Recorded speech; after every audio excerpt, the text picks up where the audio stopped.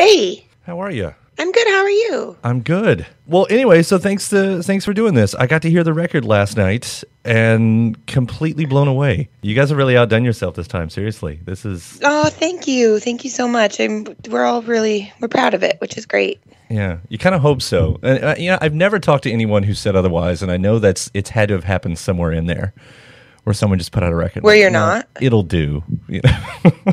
Or you're just so sick of it that you're like, okay, you can't really see the woods for the trees anymore. You know, you're like, oh yeah, it's, it is what it is. I mean, obviously you're like, at some point in time, you, you know, I think you go through stages where Yeah. you like, you love it and then you don't want to listen to it. And, you know, I, I'm at a, I'm super proud of it. We recorded it. Then I had to take a break from listening because it was just, you get so microscopic when mixing comes around. Mhm. You have to listen and then mastering and then sequencing and all that. And we have to listen to it so many times. And I just, it's like, I just lose the plot after a while. Yeah. So it's like, I took a break, took a, took a break after that and then listened to it again and was just, you know, with fresh ears. And I think I think I read that you guys like did this one even faster th- than usual, and I- I don't know if like you if you if you were working on deadlines or not, but that's is that a part of it for you because you could just keep tinkering with that forever otherwise. yeah, for sure. I think that the, the process in which was expedited this time around, I feel like was more the writing process than it was the recording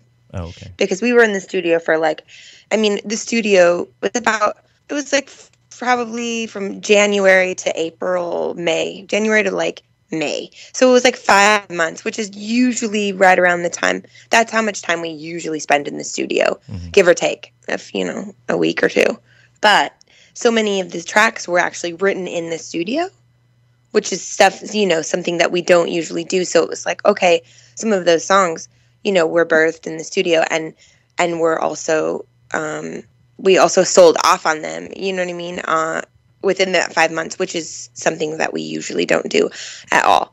We will write a song and we'll stick around you know it will it will take on many forms. It will live there. It will live in you know whatever it'll live in a box or live in the on the iphone that it was recorded the idea was recorded on for a year or two and then we'll come back and you know we'll revisit the song and then we'll change it some more and then then we'll settle on it. So it's like you know usually it takes us a lot more time to to settle on you know what i mean on an mm-hmm. idea or to just sign off sign off on a song you know? Yeah, you know, I mean, Bob Dylan's really, really famous for you know writing multiple versions of, one song and getting them out there. I mean, do you guys record any of the other versions? Do you have any like? Are we waiting for anniversary editions to hear some of the other incarnations? there could be other versions but usually when we go in the studio like we'll record the version that Yeah, we're ready. You know what I mean? The version that we record is we don't do different versions, and we have you know thousands of mini discs and certain you know sessions if we want to record ourselves live. But that's not. It's definitely not like it isn't. It's not a pro session by no means. right, right. But there, you know, there are. There's one song that we've never. There's a few songs that we've never released that I feel like we have a few different versions of, and that's just because we couldn't decide on what we were happy with yeah, it's because we just kept changing our minds so much and so that actually ended up biting us in the ass in the long run and we never released it because we just we killed it. We killed the song so hard that it's like it just became such a piece of shit that we had to ditch it. Right. Well, so this time around was nice in that way. It was very refreshing and i felt like it was i don't know i was i was happy to go in and write a song and not be too heady about it and that's kind of what i did with my album. That i released last year was that was sort of the concept was to not be heady about things and like to go sit down and write a song and to not change it 50,000 times and hmm. whatever I was, you know, whatever mood I was in or whatever I was capturing in the moment to just let it be that. And if I wasn't happy with it, 2 days later, it was like kind of a rule to where it was like, well, you were happy with it 2 days ago and maybe you're just in a different mood now, but I wanted to capture. I was very very into capturing the moment and going off of my first, you know, the, my first instincts and not second guessing myself because you get into that game and it's such a dangerous a dangerous game. Yeah, I, mean, writing is such a philosophy as far as how to do it because, you know, I don't know if you go through it because at one point you're like, no, this is what I'm going to do. I'm going to go with my gut, and these are how the songs are going to be, and you know, first impression, best impression, or whatever. And then you know, it's it seems like another part of your life, let's you, you know, it's no, this song we've got to work on this for the next year, or I don't. Yeah. I mean, it's like obviously it, there's no rules either way. It's like if a song isn't finished or it's, if it's not ready or you don't, if, you know, you're you're not happy with it. I guess what I'm saying is there are moments that you are happy with it, and I feel like those are the moments you should run with because Mhm. then you might wake up the next day or the day after and you're like, oh, wait, actually, no, that's what I'm talking about. It's like if you're not happy with something, you're like, yeah, obviously, I'm not against like tweaking things or writing, you know, writing a song until you you you making a song that you're happy with, you're happy with. It's not just like, oh, I just wrote this. Okay, that's it. Can't change it, you know. but it's if you it's just because I've had some experience with with the girls and even myself where I will be really happy about something and then the more you listen to it in different moods or different environments like you start to change your mind about it but that's just because you're you know you're like like I said earlier I feel like you just lose the plot hmm a little bit and I don't know I like capturing I like capturing those the moments when you you first feel the joy about something you've created I think It's nice to hold on to that. Yeah, it comes across on this record too. Which, by the way, quick compliments on that solo record. Uh, oh thank you I have the time because that was great as well. thank Um, you Did I, I? I don't know if I read this right, but was there a part of the writing process that was kind of by assignment? It wasn't by assignment. Um, it was more like there would, you know, uh, there are four of us, and certain, you know, people will bring in certain ideas or certain songs, and everybody will kind of just work. You know what I mean? Everybody will work on. It's like, oh, we, when we first started to record, we had like, you know, we had our little whiteboard, and we made our list of the songs that, you know, were either working songs in, you know, in progress or work in progress, or an idea that somebody had had that was you know either just acoustic some guitar and vocals or bass and vocals or you know just a beat and some keyboard or whatever anything that that we had that we wanted to work on we sort of we made a list and then we kind of just went down the list of the songs and that's pretty much how we did it it was it was actually great it was there was a list there were certain things and then while people were working on certain things other people would be working on other things at home so it's like we were you know kind of attacking it from all angles Yeah. You know, it's it's interesting to hear. So we got the first single uh, with new song, and I don't know. It's easy to say this is probably the catchiest thing you've ever done. You know, and especially for me working in radio land. You know, it's like, oh wow, that's that's a perfect radio song right there. And, and maybe that just comes naturally, but you know, you got to wonder as you guys have become more popular and, and as you went along with every release, as a band should, and and hopefully does. I mean, does it ever become premeditated to any point to say, hey, it'd be nice if we could actually reach that level, and maybe we should write a song like that, or did that song just come as naturally as as any other? That song definitely. Oh, maybe that's what you were talking about an assignment. Oh, okay. So yeah, now we're on yeah, the same page. yeah, yeah, yeah. yeah. Sorry, I was confused. I thought you meant like, did we assign certain songs to, Oh, it's to okay. one another? I, I liked your other Oh. answer too, so I'll still use that. oh, okay, okay. um. Oh, so the assignments. Okay. Um. That song was birthed out of pure love and pure joy, and it wasn't. It was sort of my interpretation of of um, okay, so our manager gave us an assignment, and it was sort of like, "Hey, pick any song, pick a you know a modern day pop song, and go home and write a song and see you know like it doesn't have to you know do whatever you want whatever happens just do it. I'm just curious you know he just sort of was like let's see what happens see what you guys do. And that's kind of cool because i'd never really i've never really taken songwriting i'd never really taken that approach when it came to songwriting Mhm. and whenever i enjoy a song if i love a song or if i'm moved by a song or inspired by a song it's my favorite song whatever if ever I write and I'm thinking about that song, it's never I'm thinking about how can I write a song like this. It's more how can I write a song that makes me feel the way that this song feels. So it's, you know, this song that I was I chose was Get Lucky by Daft Punk Mhm. featuring Pharrell and Nile Rodgers. Which is a great song. Which is a song Yeah. what? It's a I great love song, no, yeah. I love that song. I mean, I love that song. It's amazing. I love Daft Punk, and I I love Nile Rodgers, and I love disco, and so that song, I I wrote that song, and it was an instrumental version of that song. Mhm.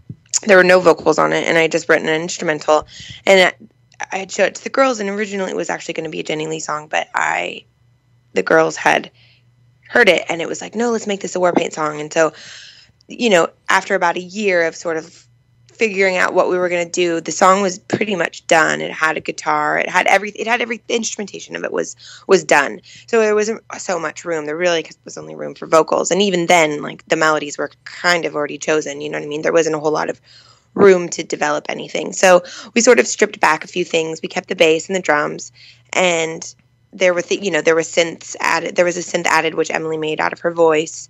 Teresa added guitar, and then Stella did um, added drums on top of what was already there. But she definitely took a new, like a whole new spin to what was going on, yeah. and made it hers for sure. Everybody made it theirs, which is great. We made it a Warpaint song, and then Emily and I worked on the vocals for a while probably for about a year, it sort of there was some other things that we were uh, messing around with on the chorus and just at the end of the day it was like this you know that new song it had been made up when we were playing a show and we were getting ready to play a new song and Emily had introduced was introducing a new song and Stella and I were kind of jamming out and so she just started riffing on new song and loved the melody so much that she remembered it for she remembered to record vocals for this track. It was like it made you know it worked perfectly over the chorus. Yeah. So sort of a hybrid of how the song came together.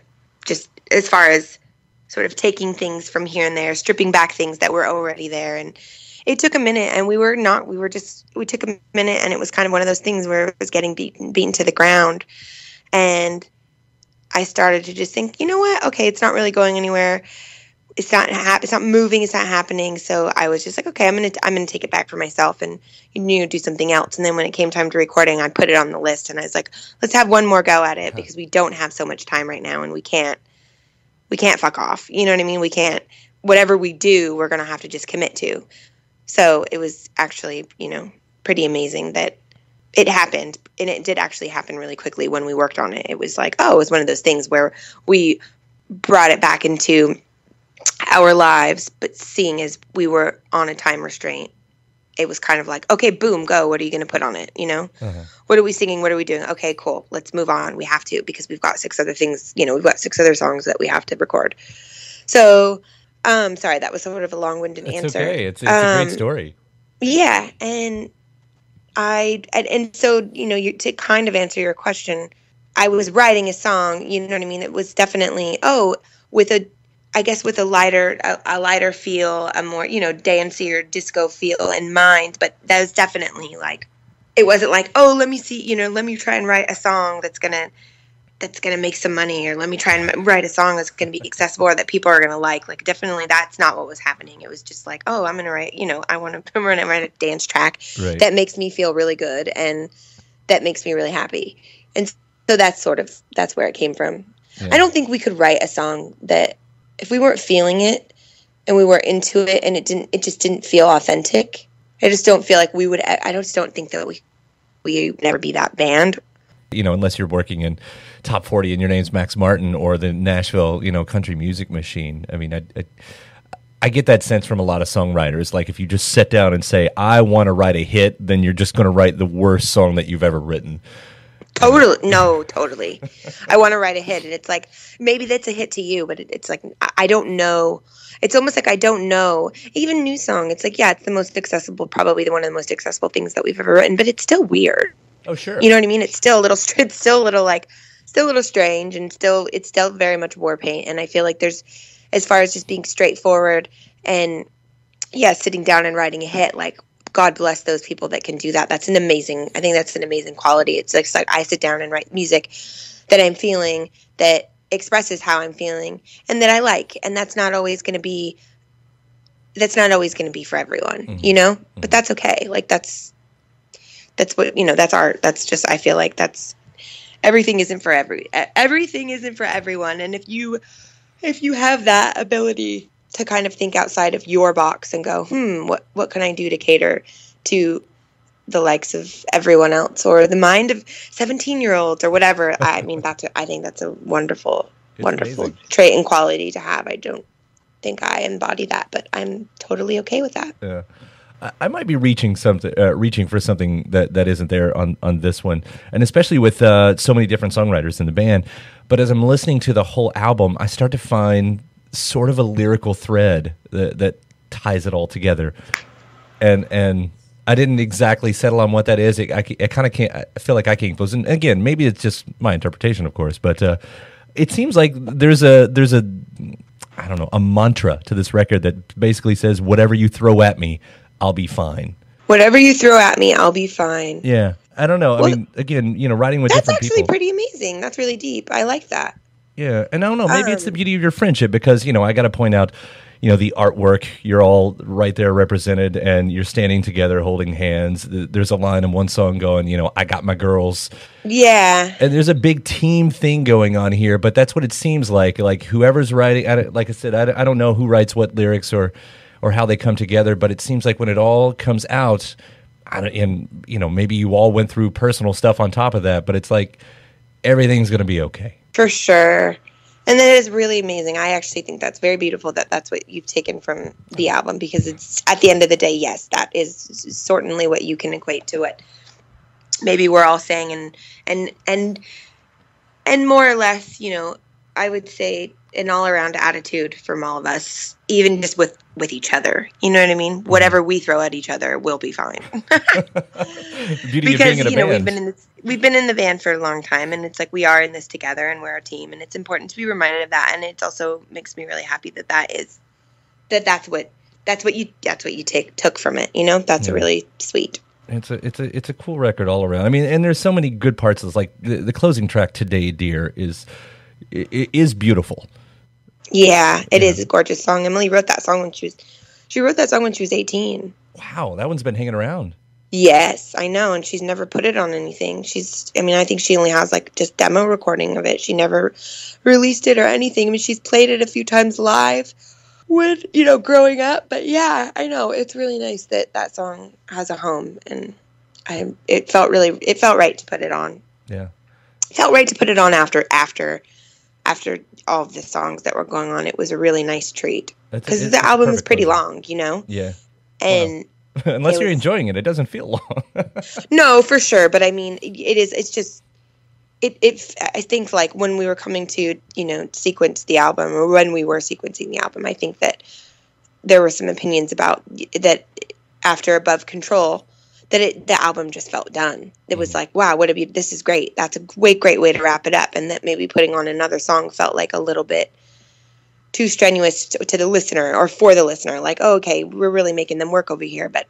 I was like, you know, I did. I personally thought that it was actually it was a really nice touch to the album because everything was so go go go go and you know Mhm. kind of upbeat and tempo, and this was like a, a breath of fresh air. It was just like, okay, now it's time to wind down. It's kind of like the cool down of a workout or something. right. I'm so glad you guys did. Was there any? Uh, was there ever any uh, thought of of um, was it No Way Out and Riot? Were those ever going to be a part of the uh, of the album? There were there's were talks of there was um there were talk of that there was talk of that yes and I was I was happy I kind of was happy to do it because I actually felt like those those songs would have would have fit in just fine Mhm. on this album. I think they would have gone they would have gone actually pretty nicely in my opinion. But um we were we just had been writing more we were just writing more stuff that it was like okay we're not going to make this you know we're going to put 14 songs on the album. We don't need to. And we you know when you pre-order the album you get a seven inch of no way out and i'll start believing. And you we can still have a, you know we'll still have a seven inch Right. So those are the two singles and they're separate and i think that's cool too Sort of a. they were released at such a different time so Yeah. it's like they don't need to be on this album this album feels very other than having you know today dear which is an old song is very fresh and very new and very present and of the now Yeah. so sort of a cool harkening back to you know especially back in the 60s when you would do that you'd release the single that wasn't a part of the album but it was still all tied together yeah totally you know so it's fun. And the It whole is- record's fun. I mean it's you know it's it's very there's a whole lot of emotions in here and sounds and and, and the, by the way the sounds of it like i don't know how you guys find those sounds because if i play any of those instruments they do not sound like that. What do you what do you mean? What sounds? just uh, you know the tones your guitar tones? tones, and, and all of this like they're Yeah. so inventive and unique and interesting. Like even if you guys weren't singing and were just an instrumental band it would still be a great record You know, there's, there's so yeah, cool totally. things. I mean, oftentimes our instru- songs instrumentally are like they're not. I don't want to say better, but they're they're. I mean, I really I enjoy listening to our songs instrumentally, Mm-hmm. and it's you know, obviously we're you know our music is is. I mean, actually, you know what? I wouldn't say that. I think it's pretty even as far as instrum- instrumentation and vocals go. Um, but we love to jam. We love to, you know, we do that live. We love to just like meditate with each other, riff out, and go for it. So I think that it's sorry, I just lost my train of It's thought. okay. What I was just going to say is that I it's uh, what what you just said is just even if you didn't have vocals, it would be great, and I feel like we agree. hmm It's like we want to, you know, we want to give it space, and we want to give the instrumentation air to breathe, and like the instrumental versions of our songs as well. Oh God, sorry, that was a hard one to get out. It's completely fine. I'm tired. If you, if you guys ever wanted to do the uh, the hip hop thing and release just the uh, the instrumental version of an album, it's um, that'd be cool. Yes, we definitely have been talking about that, and yeah, that we've actually been talking about that, which is cool. I'm glad we're all on the same page here. I know, I'll sign off on it. It's fine. great. All right. Well, that's all I got, and I really, Sweet. really appreciate it. So that was fun talking. And, yeah, uh, fun talking with you too. Thanks for taking the time. No, thank you for taking the time, and I hope you know you recover very quickly, uh, jet lag and all. I have to, so I've got no choice. All right. Uh, looking forward to the official release, and we'll see you out there on the road. All right, sounds good. Have a great day. You too. Take care. Bye.